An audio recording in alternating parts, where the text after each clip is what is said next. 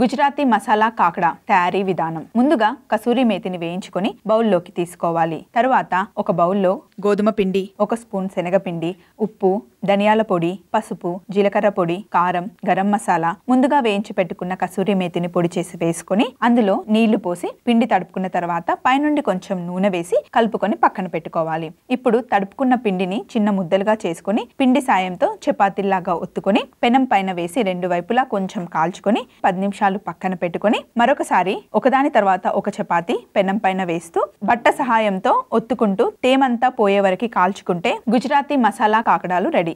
Okay అండి. చూశారుగా మా వీడియో? మీకు నచ్చినట్లయితే మీ ఫ్రెండ్స్కి షేర్ చేయండి. లైక్ చేయండి. మా వీడియోని సబ్స్క్రైబ్ చేసుకోవడం మర్చిపోకండి.